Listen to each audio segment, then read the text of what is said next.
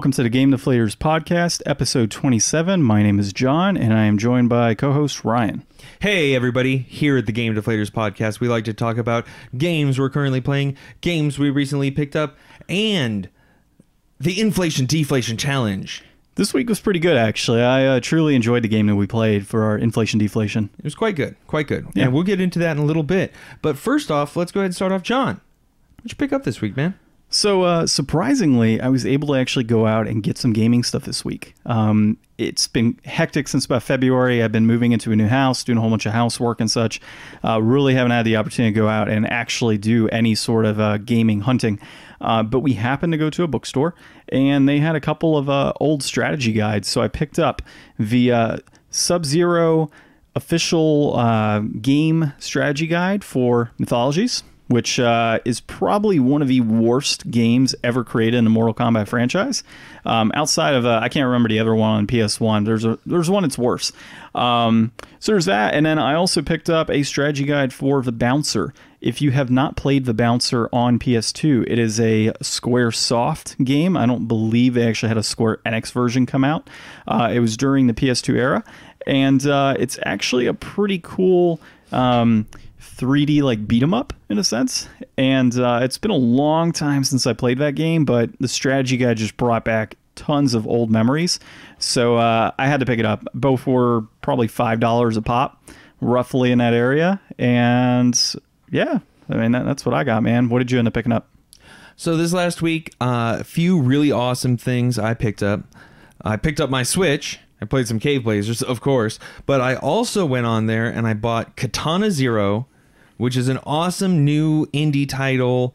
Uh, it's reminds me of kind of like a side-scrolling Hotline Miami, real fast-paced, awesome music, uh, visually striking, action-packed game.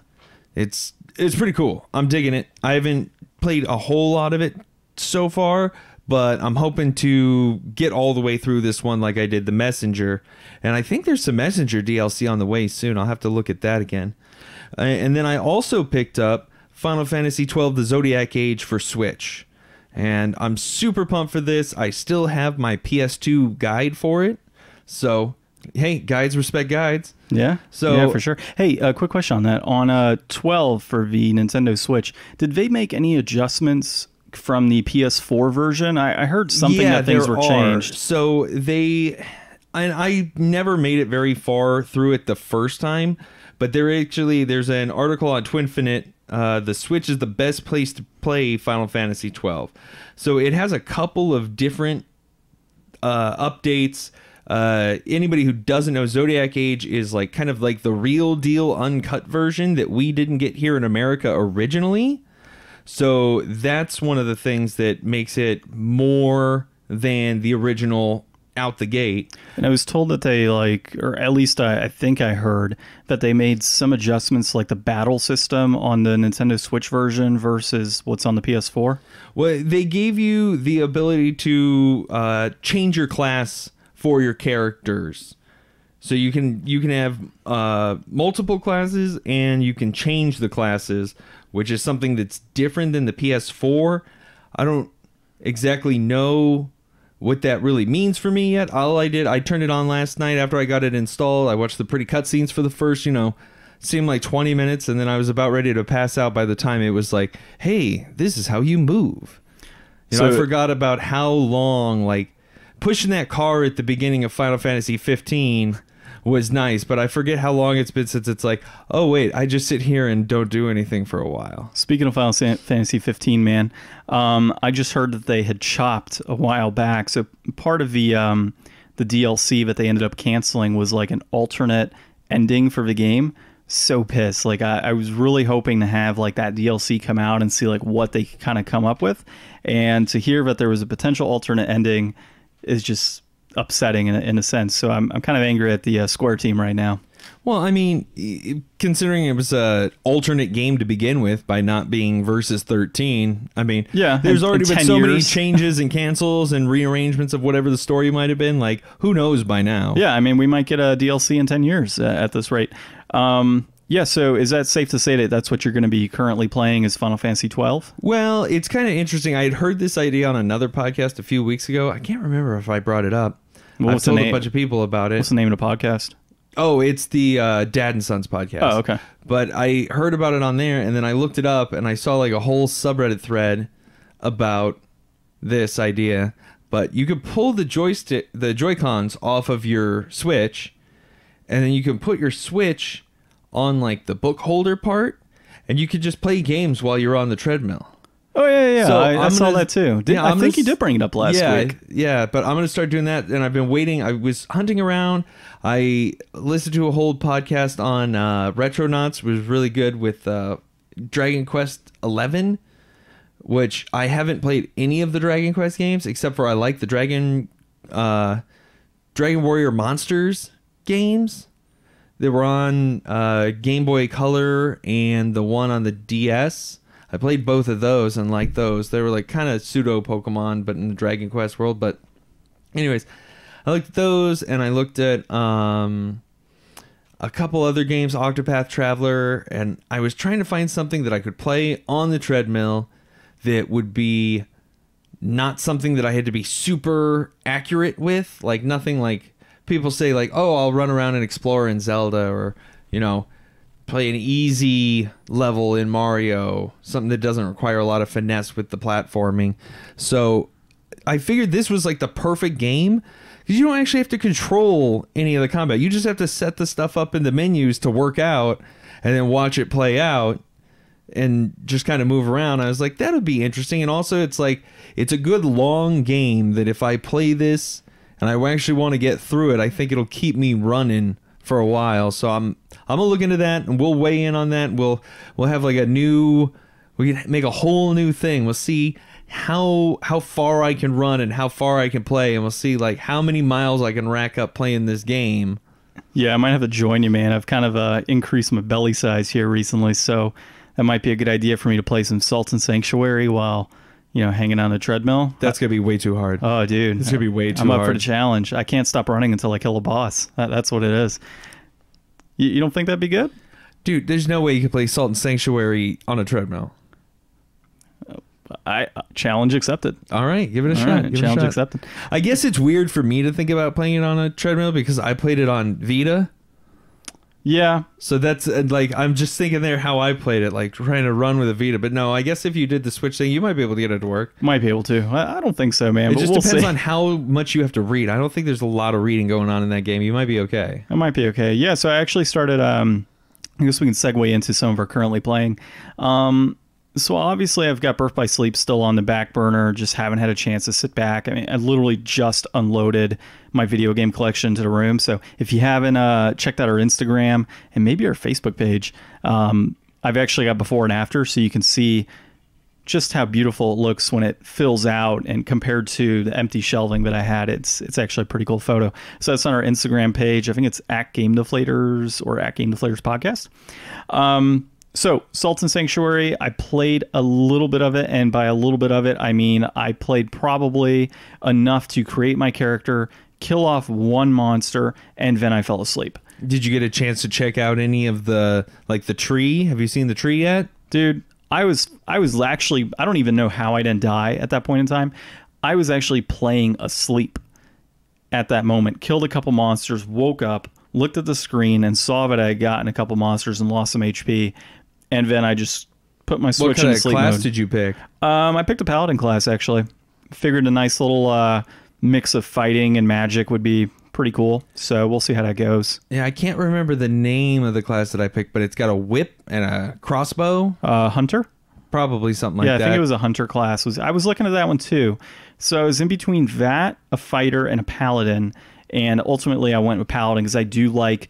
And in fact, if you were to uh, keep, I don't think we've had any like Dark Souls or anything like that since you and I have been doing a podcast. But uh, when I play Dark Souls games or any soul based type game, I've always enjoyed having a lot of magic integrated with my character. So, Dark Souls 3, for example, I actually went straight mage the entire way through.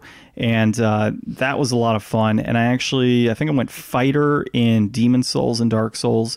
And in Dark Souls 2, I went through a hybrid of magic and fighting. So, wanted to do the whole hybrid thing going into Salts and Sanctuary, and we'll see how it pays off. Yeah, it's uh it's a super fun game. I had a good time with it. It's pretty hard, and I don't get into those Soulsborne games as much. Just they're not really for me. And uh, I don't know. It it was good. You'll definitely like it. You'll definitely like. It. I thought it was a great game, but it was just not really my cup of tea. So I didn't play it for too long. Well, we'll, we'll see, man. It's going to be my while I'm laying there trying to go to sleep type of game. That's exactly what happened to me too. And then I kept going to sleep instead of playing. Yeah, so that's probably what's going to happen to me too. So we'll see how it all goes, man. So uh, you're obviously going to start playing Final Fantasy 12, but are there any other games that you were like hardcore, like trying to beat right now? Um, I'm still trying to get my way through uh, Zone of the Enders Fist of Mars on GBA. Oh, that reminds me, I got to do Suikoden 2 still. Yeah, so I'm still playing at that. Um, and then I still need to go back and do the first one for PS2, Zone of the Enders, and then I need to do Zone of the Enders Second Runner. But cumulatively, it shouldn't take me more than like probably 20 hours or 30 hours to beat all three of these games. Do you have the uh, PS3 HD versions? Yeah. of- okay, that's what I figured. Yeah. I think I've got them on PS2. I don't believe I have the HD version. Yeah, I think it's uh I think it's totally doable cuz I really want to get through those before uh Daemon X Machina comes out on Switch because I had so much fun with that demo that I need to I need to look up and see what the the launch date was that I think it just says sometime in 2019 right now. So I don't really have like an end game plan, but I think it would be fun to try to wrap up my new games resolutions by the time we get around to that launching so that I can segue right in there. Because I picked up Zodiac Age so that I could have something to do this whole crazy treadmill scheme of mine. But other than that, like, I just don't have anything really on my horizons right now that I'm really looking forward to. I go on my Switch and I throw stuff on my wish list, but it's nothing that I'm really banging down the door to buy for sixty dollars. Yeah, that's the that's where I've been too, man. And uh, we can definitely go into our news section here in a minute. Um, I just haven't seen anything that really catches my eye. It's like I have to have this game, and I've got to buy it right now. Sekiro is probably the only one. Maybe uh, Ghost of uh, Tsushima when it's uh, you know announced like the actual release date. That's a game that I really want to buy. But other than that, I haven't seen anything that like really just catches my attention. Says you got to buy me day one. Um, that being said, uh, it- the last episode we talked about GameStop and their return policy for, or not return policy that they're doing, but kind of a, a test policy in a sense, where with Days Gone in particular, if you did not like the game or it was just garbage in the first like 48 hours, they would allow you to return a brand new game open, which is very much against any store policy you go to. And you could bring it in for full store credit, which is pretty much unheard of. Most times, if you buy a game brand new at GameStop and you come in and say, I didn't like it, you don't get a return and you don't get any credit. As far as a full credit, they're just like, yeah, here's $35 that's what we're buying it for like that's what they do so this was very much unheard of and given some of the recent negative reviews um, now not to say the game's terrible from what we've seen but given some of the recent negative reviews it makes me wonder if they knew something and that's why they implemented that policy Well, I think that there was um, a lot of backlash this year. A lot of games that people have really been looking forward to just kind of aren't meeting the standards that we're really looking for in like a modern full price game. I don't know about too much this game. It never really interested me looking at any of the E3 footage the last couple years. I was always just kind of like, eh, another zombie game. it, it kind of felt like um, what is it dead island in a sense like a Yeah. dead island mixed with sons of anarchy type of thing yeah, basically. And it was like, eh, dude, do I really care? Like, out of all the PS4 exclusives announced in the last few years, that was honestly the one where I just wasn't really looking forward to it. Well, I mean, I zombies are so overdone. Open world survival games are so overdone. It's just two things that everybody's done before, presented in a new way. And I think that some of the things that are in there look pretty cool. I'd honestly argue it's not even presented in a new way. I, I mean, it, it really looks like a standard zombie survival game. It just so happens to be open world and a PS4 exclusive. Well, I mean, some of the things that they have in it look kind of interesting. Like, I remember I was so excited for Resident Evil 5 and the I remember the spread. There was like a, a headline or a tagline somebody had written that was like you can't believe how many enemies they can fit on screen at once. And it was like terrifying. And then you look at this game and you see the big giant hordes in there like that's pretty cool. Like some of the things that they did in the game are interesting but my biggest thing that I've heard is that it just takes a while to start up and we could talk about that if you want, because I know there's a lot of people out there that are not into the idea of, oh, this game gets good at like 10 hours in, or you just wait out the first five hours and then it starts to get good. It's like some people don't want to give a TV show the first three episodes to see if it's worth it. If you watch the first episode and you're not that into it, you're just like, no, it's not for me. You bring up a great point, man. Like my mom, for example, not too long ago, had not seen any episodes of Game of Thrones and she saw the first episode and said eh it's all right. I'm like just you know you gotta you gotta watch it a few episodes and it really kicks up a notch. Next thing you know she tells me three days later she's on season five. So it's you know it could very well be that type of situation with this game. The one article that i would reference i think you've got it pulled up the guy was like yeah i'm 20 hours in and it's just ugly. Like it's just not that great of a game 20 hours in. Now if you're 20 hours in and it's still bad, yeah, that's one guy. But if it's pretty much across the board, like, yeah, this just isn't a fantastic game, then it's not a good game. Well, I mean, I've heard people say that once you get through the first bit, it starts to get more interesting, but then it just kind of slogs itself through. I mean, I don't know.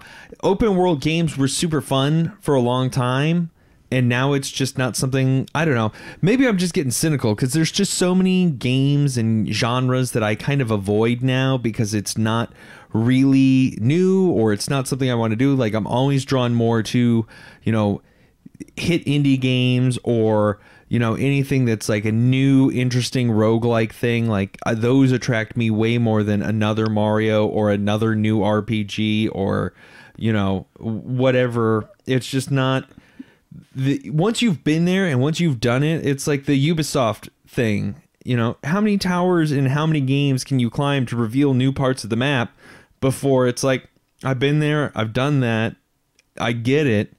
You know, I mean, they even used had to climb towers in Zelda. Well, I'm I'm over here like counting Assassin's Creed on my shelf. I think there's like ten. So times that by whatever amount of towers in each game on average. That's a and lot of towers. The Far Cries. Oh my god, yeah, yeah. And in the Far Cries. I don't have any of those actually. Uh, good point on the indie games, by the way. So I've also found myself going towards those shorter, like graphically beautiful and good gameplay, but not something like super overdone like an open world game. I've just found a lot of enjoyment in those types of games as of late, and totally see your point. And um, you know, those games, while they do cost money to develop it doesn't cost nearly as much time. Well, I mean, it costs time because you got a smaller team. Obviously, it's not like a team that made Days Gone, but you know the amount of money getting pumped into one of those indie titles. If you had a larger team doing it and being able to pump it out quicker with less of a budget, you know, it makes you wonder: is the route you know, in the next few years going to be more indie game related versus AAA titles like A Day's Gone. Well, and less crunch. I mean, there's so many articles coming out these days. We just had another thing come out with um, what was it, Mortal Kombat 11, talking about all the crunch. We got all the crunch with Red Dead. We've heard about all this crunch and all these people that are killing themselves working, you know, 70 to 100 hours a week and it's just brutal and they get no respect they don't get you know anywhere near the praise and anything that they deserve because the bosses step in and then they lay off hundreds of people and you know even when that's not the case even when they're not treated you know that poorly like uh how much crunch did he put in for super smash bros. Ultimate? You know?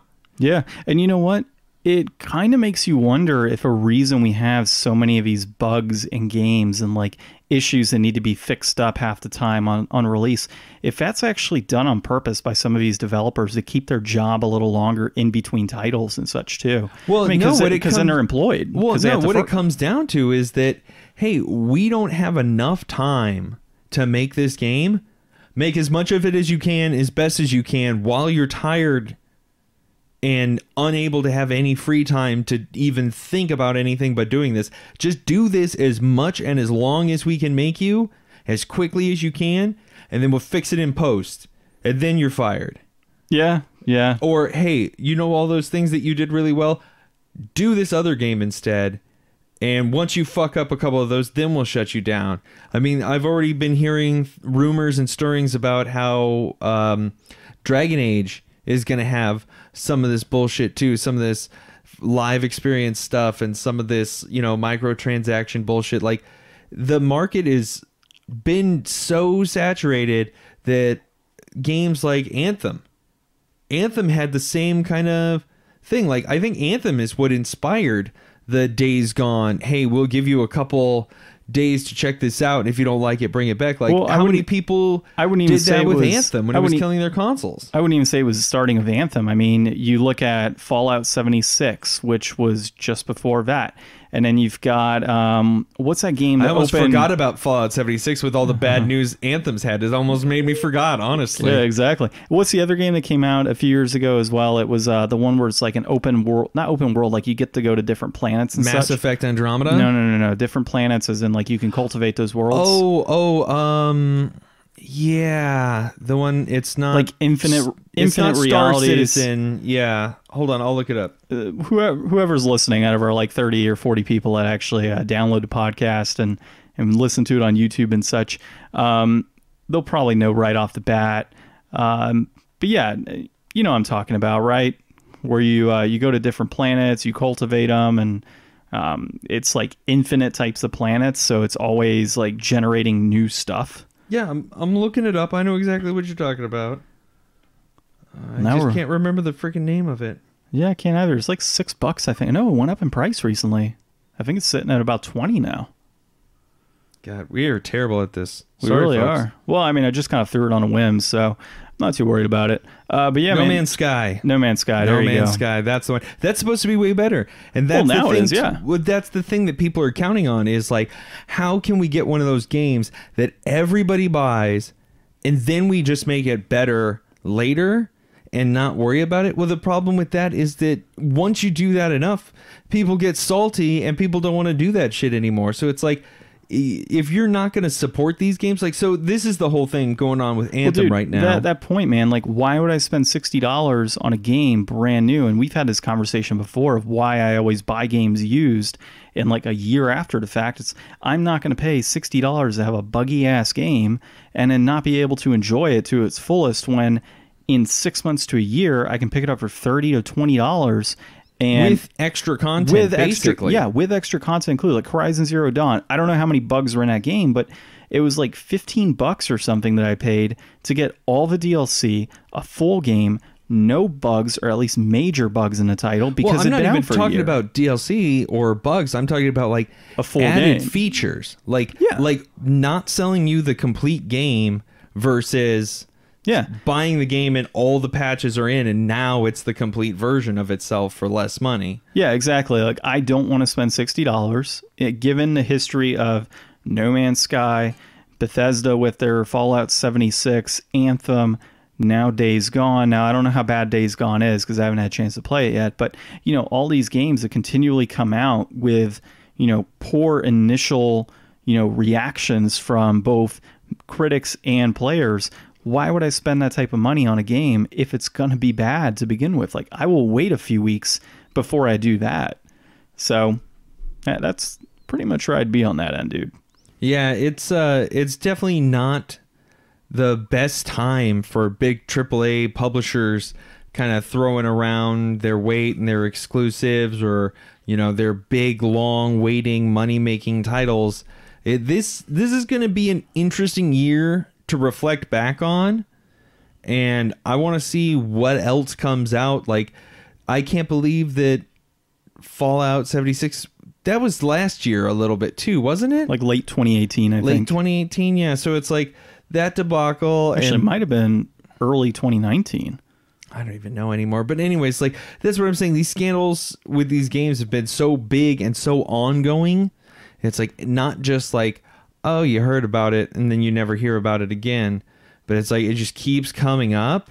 So I'm interested to see what else winds up doing that this year. Like I wouldn't be surprised if we had another couple of games that just kind of are like, oh wow, this is not at all what I was expecting. Well, Agony, uh, dude, I probably brought up Agony like five or six times in different episodes. That's a game that I truly was looking forward to and was 100% ready to go to the store and buy it.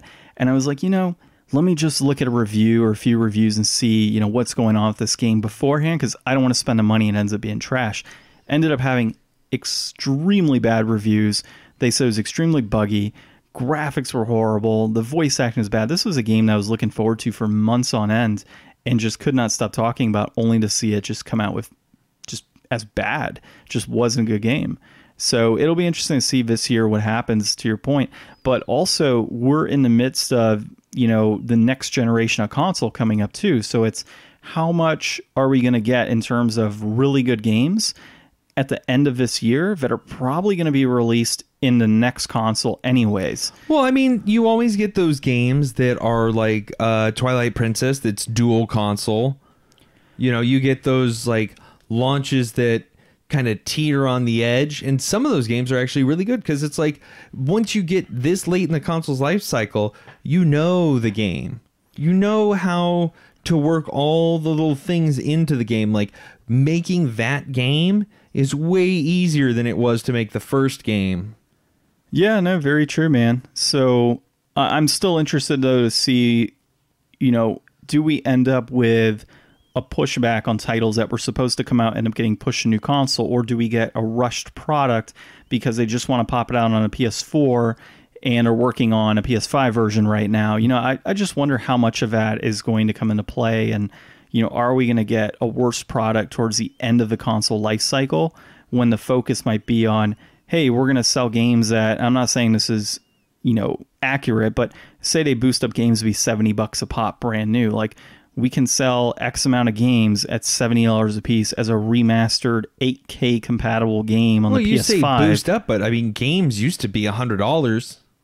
I don't know if it was was it a hundred bucks. Oh yeah, they. I've heard people Uh, maybe talk about like new games coming out. No, like honest to God, like they were marketed for that much. You know what? You're right. Now I think about it, back in the early was no- '90s, picking up Nintendo games in a sixty to seventy dollar range. Yeah, there was no set figure for games until like PS2 rolled out for fifty.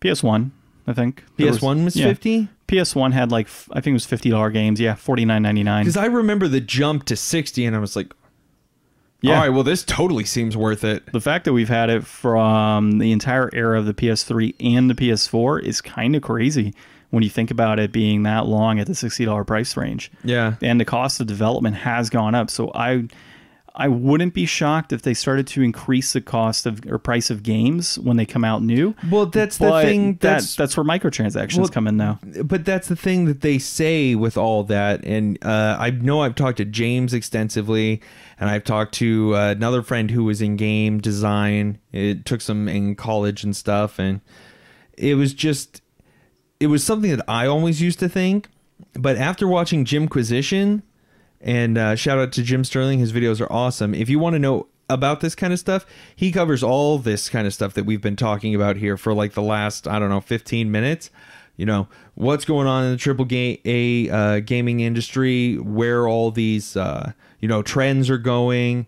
He talks about all that stuff a lot. I get a lot of good info from him.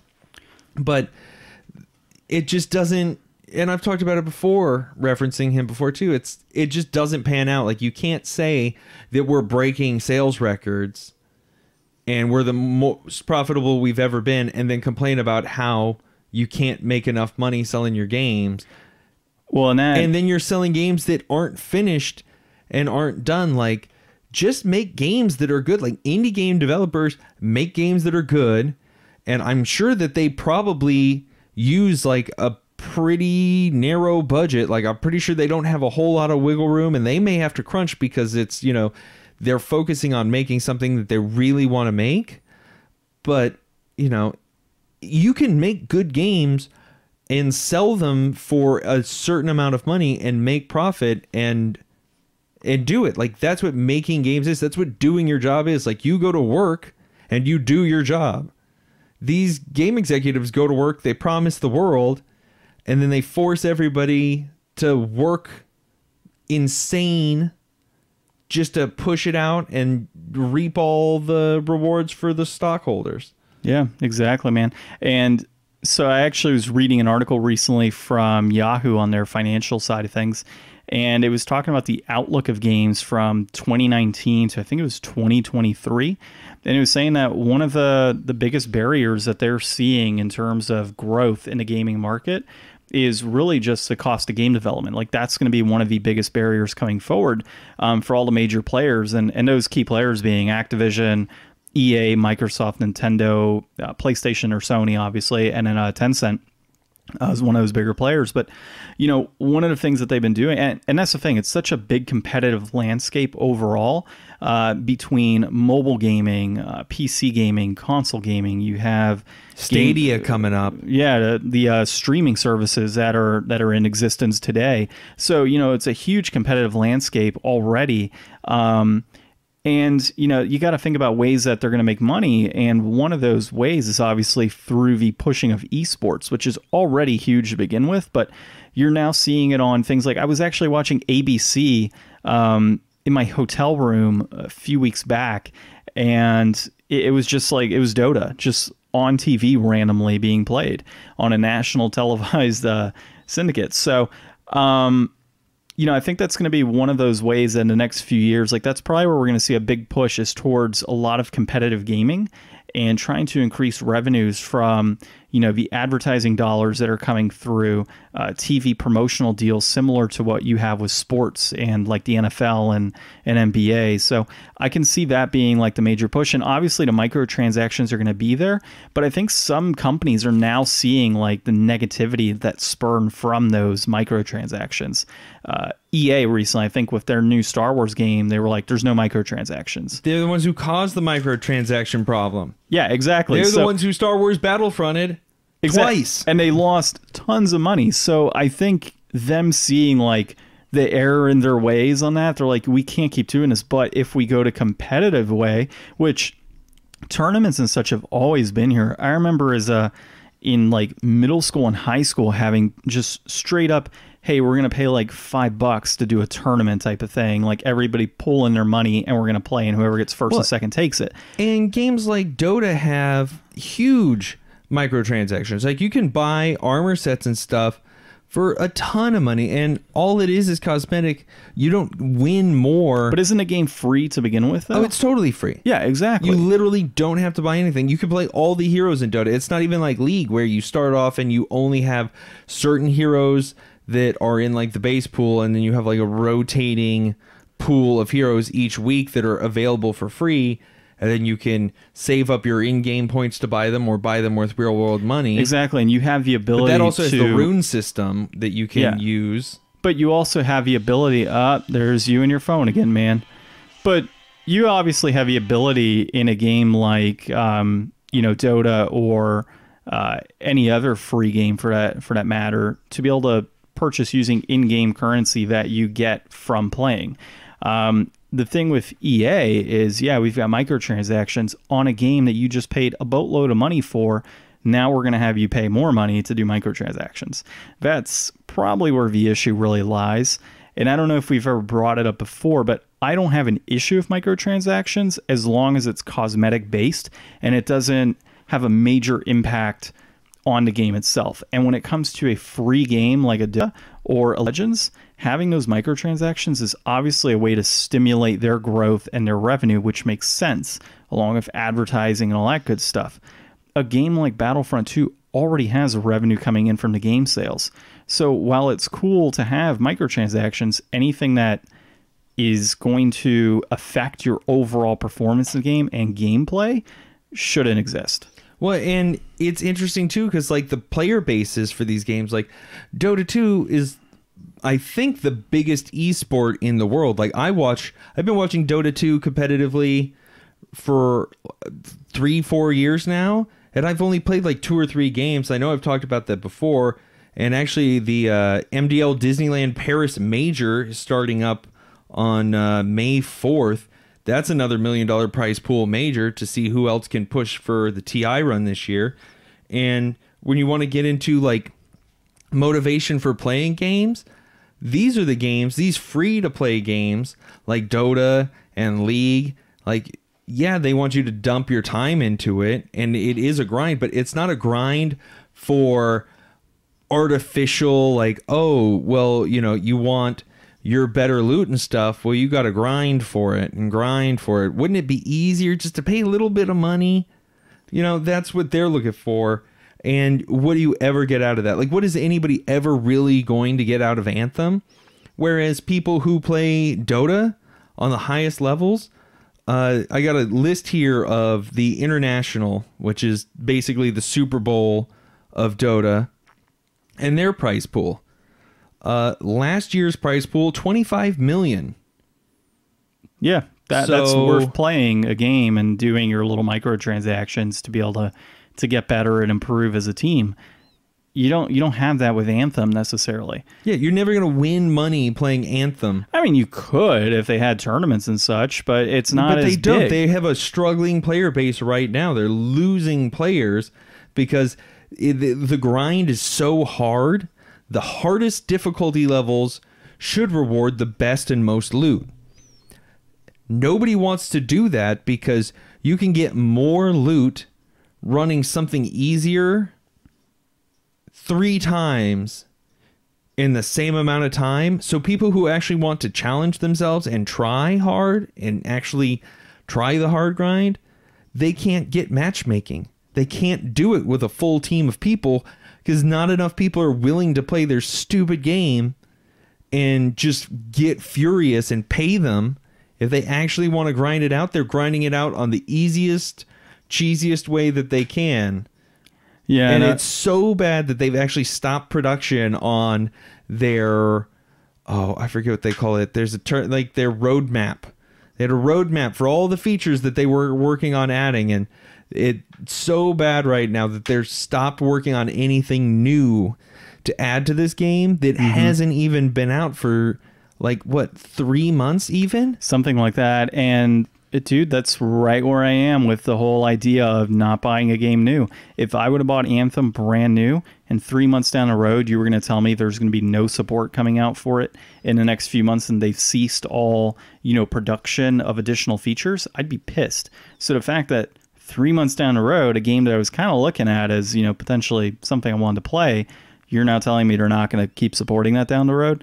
Why in the hell would I purchase it now? And what happens to all the people who paid sixty dollars and then already bought the season pass and already paid a bunch of money for microtransactions? Well, the next game that comes out by EA, they're not going to support. But the thing is, it doesn't even matter. Um, I hate to keep doing this because you know I should talk about stuff that isn't just other people's podcasts. Jim Sterling put out a video a couple weeks ago talking about the tax shelters that they use in these video game industries and references EA specifically. They paid no taxes last year. They got a refund. We paid for them to not put any taxes into the US economy. Like they have a basement that nobody works at in a country in Europe, set as their headquarters. Say they don't have to pay taxes here, and we subsidize them trying to microtransaction us to death. Well, that does it. Definitely don't support EA now. So no, it doesn't matter. They're still making money off of you whether you buy their games or not. That's very true. You're paying Yeah. them with every tax dollar you pay. All right. They get a little bit of it. Gotta figure out some way to negate paying EA. Um, well, man, uh, speaking of not paying taxes, I think you want to talk about Blizzard cutting some funding.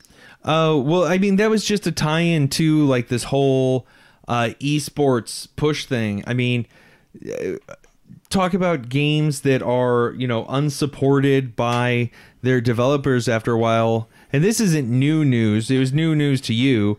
but uh, Heroes of the Storm was a MOBA that Blizzard had, and they cut the development and support to that and totally killed the esports scene. So, as much as I love to hear that esports are helping push the video game market, you know, it wasn't enough to keep Blizzard interested in. They weren't making enough money off of it.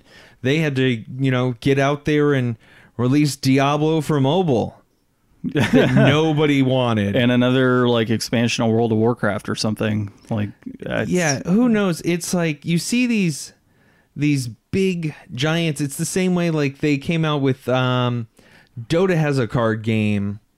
Uh I can't even remember the name of it now. Well, really, what it comes down to, man, is it's just kind of further solidifying my reasoning and the way I've been gaming. In that, just buying used games that have been on the market for a while, I know what I'm going to get. I've seen the reviews, and then supporting indie titles that are coming out at like 25 and 30 bucks a piece. Yeah, because Like, all these new games are trying to be so samey. Like we didn't need a Dota version of Hearthstone, the same way that we need need a Blizzard version of Dota. Well, yeah, like and- make something new. Like you're Blizzard, you change the world. You're Valve, you change the world with your games, and now all you want to do is just make your brand copy of what other people have played. That's the same. Days Gone might as well be Assassin's Creed Zombies 1980. Yeah, dude, and I'm all about at this point supporting small indie companies and their games and really getting a game at a good value. So if I pay 30 bucks and I get maybe 8 to 10 hours of gameplay out of an indie game and I truly enjoy it, that's a better pill to swallow than paying $60 for Anthem, getting a buggy ass game that I'm going to put down after a month. Like that that's just not worth it in my opinion. I mean, you're on the average at 60 bucks a month is what you're spending on something like that. I can get easily a month, maybe two out of a good indie title if I like progress slowly enough and enjoy my time with it for 30 bucks. or even less. just not paying $60 for a game that you could buy a game and really like it but if you felt like you weren't you know really enjoying your time it was just an easy grind you know you just kind of got into the game's rhythm it's like you could do GTA and have a ton of time on GTA just screwing around and having a ball. But at the end of the day, it's not new content. You're just doing the same thing over and over again. That's why I can't Well, it's because it's a good quality game and you can enjoy your time on it versus getting a game that's poor quality and you can't enjoy your time on it. Well, what do you feel about games that just have like a simple gameplay loop, like racing games and fighting games? Like you're not really getting anything new out of those the longer you play, other than getting better.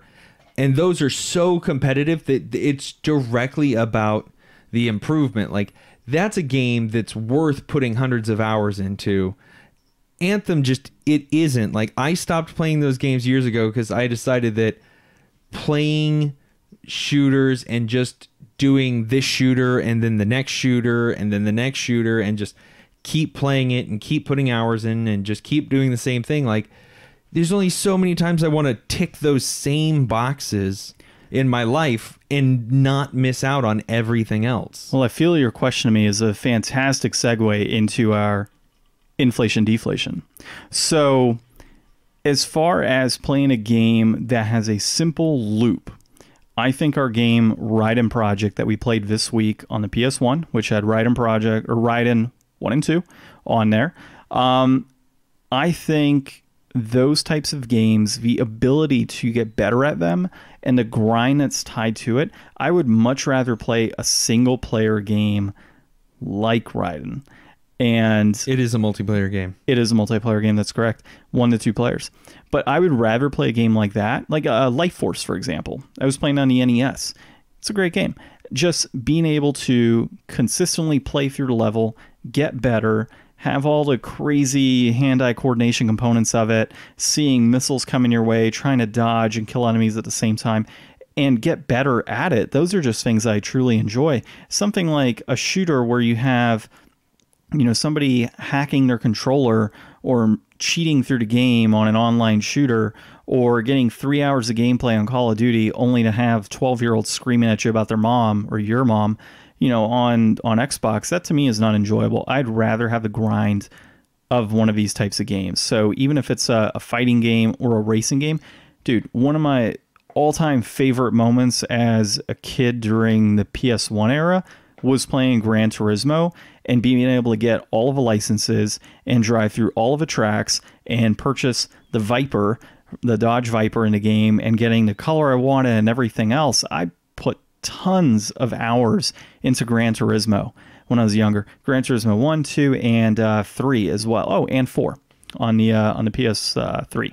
So those are games that while it's a continuous loop and it's the same thing, I felt that I got more out of that than a game like an Anthem or a Battlefront or Well, a Call of and Duty. they're they're paced in such a way where you feel gratified for getting what you get like most of the time like i don't know if Raiden project i mean i don't think it has anything that it really is gonna give you for getting better at the game and getting further into it other than the satisfaction of actually you know getting close to beating the game but like that's that's the grind. That's what the game's meant to do. The game is meant to do that because it's it's fun and it's a decent challenge.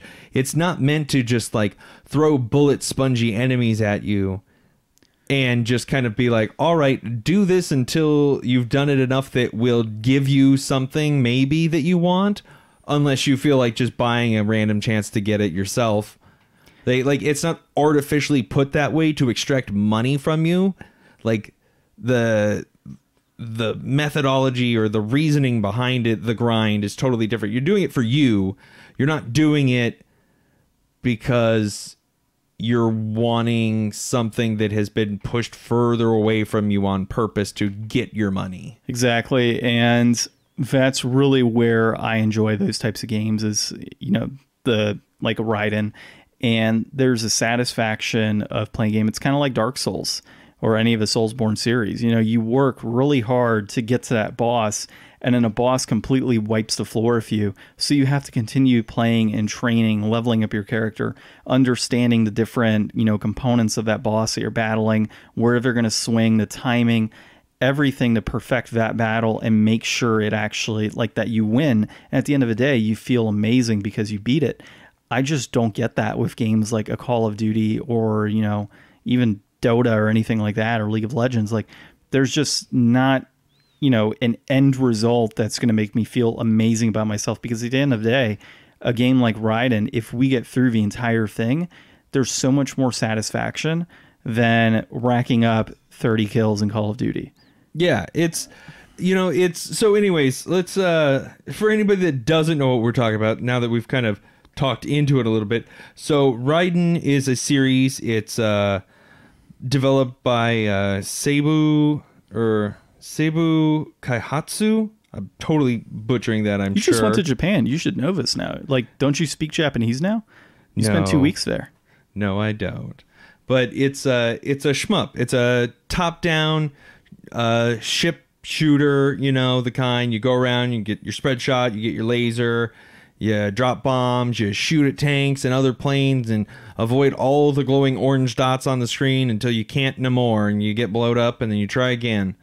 So we played we played a couple tries at the first level of each and we got into the second level of each. I mean, we didn't get that far, but we had enough to understand Well, the yeah, I game mean- is. If you played a shmup, you played another Yeah. shmup. Exactly. Those games are pretty much all the same in terms of um, the overall gameplay. Where I differentiate those games is the difficulty, the music that's tied to it, and the actual graphic components of it, and as well as some of the the features and the different weapons and such, and how that's different from other games.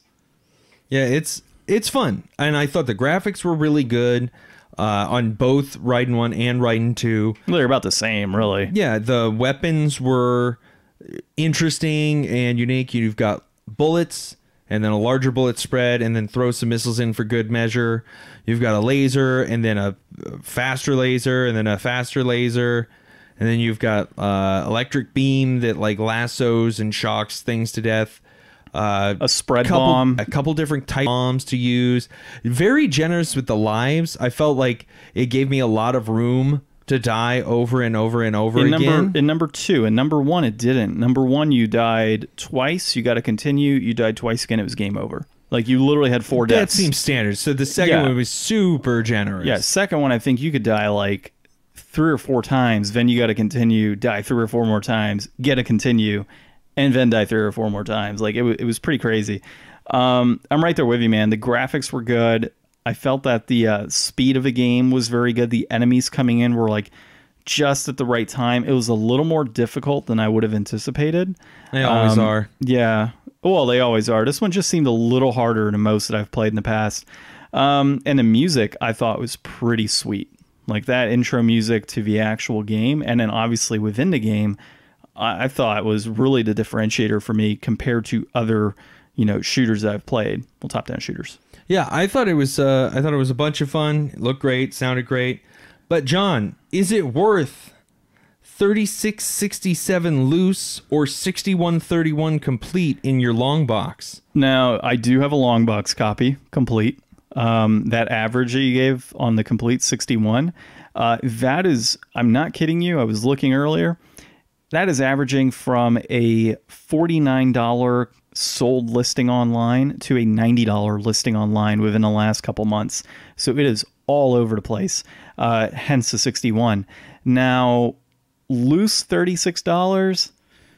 Uh, I mean, it No, was the a loose is thirty six. yeah, that's what I'm saying. That's what I'm saying. Loose. I'm going to go on the loose. If you just wanted to pick this game up to play it, uh, at thirty six dollars, it might be a little too high for me. I think if I had this game on, you know, like an arcade setup, I'd probably and say say I had an arcade setup and I had to pay thirty six dollars to get this installed on my arcade theoretically, um, I would pay $36. Now, for a PS1 game, $36? Probably not. Um, but then again, we didn't play two players either. We only played one. So, you know, I guess if you figured in Well, the it's going to be the same. it, it is, but Yeah. the enjoyment aspect of it, I think, is a little better because there's two people actively playing and, and working together. so would you throw down eighteen bucks if I was willing to throw down eighteen bucks? I think I'd throw down a total of $25 max with tax. Loose. Okay. That that's where I would stick. And that would be both of us putting in 25 bucks to play. so you'd pay fifty. No. I mean, sorry, not 20. combined. No, it's combined 25. Yeah, sorry. Math was off. Okay. Yeah, yeah. So 25 bucks for the two of us to pitch in and say, "Let's play this game loose." I would do that. So I would say this game is slightly inflated, but it's still a fantastic game. Like if you can find it at 25 to 30 bucks loose, I would totally pick it up. Okay, you know, um I think that there's a lot of good shmups out there probably, and this one is quite fun. It felt very familiar. I don't know if I've actually played this before or if it's just very reminiscent of something else I've played.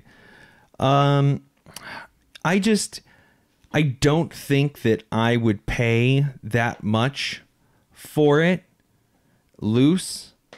I think that I think that I would probably come closer if I was a collector to paying the 61 for a complete version than I would be to pay 36 for a loose. I think I, I would feel better about getting like a cool long box to add to my collection with a really good game inside of it. I would feel comfortable buying this as opposed to paying the same price for Days Gone or Anthem.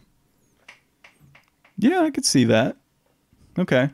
So, uh, end of the day, though, do you see this game as inflation, deflation? Where are we going to agree on this? I think it's I don't know. It's weird cuz like like I seriously I'm looking at the long box. It looks really nice. I did have a good time with it. I could see putting some time in to play this game and I mean, I would say that it's worth it if you are a fan of the genre or if it's something that you need to add to your collection that maybe you've been holding off on if you could find it for a good price because like i'm looking at the sales listing here and that 61's like a pretty good average but i do see some up here for like 80s and uh some uh here's one for 111 but i also see some for 50 so i'm gonna say 61's probably inflated for me I mean, I think that if you really want it, you could pay that because you could wind up paying more. I, I don't know. It's tough. It's tough. I'm gonna say inflated. I'm just gonna say it's still inflated. It's good. It's worth it for a good price, but not not for what it says here. Now you ready for the price I paid for it? Would you pay? Two ninety nine. Jesus Christ.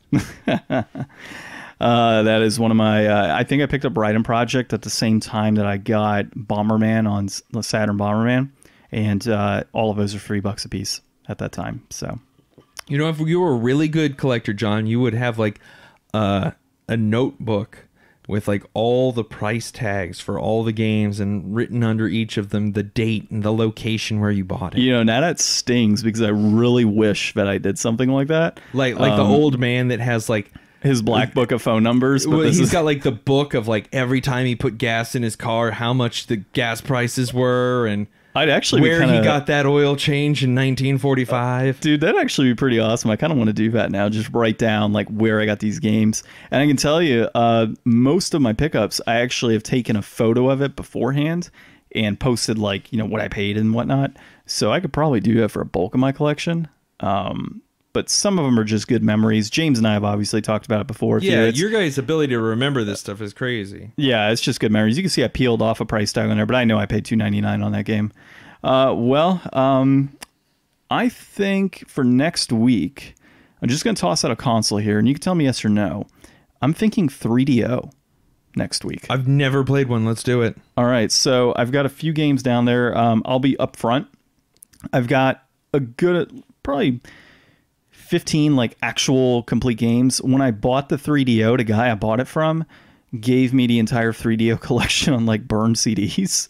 Um, but I do have like multiple games, like physical copies of them as well. So really up to you. We'll be up front with whichever we select if we go through my actual hard copies or this giant bag of games that he gave me. Um, so yeah, I've, I've actually played it a few times. It's a lot of fun. And wait till you see the wonky controller setup for two people. Awesome. Let's check it out. Yeah, we'll do it next week. All right. Well, uh, I think I'm good, man. I don't think we got anything else to talk about. So if you're good, I'm good. This has been John, And I'm Ryan. and we are The Game Deflators.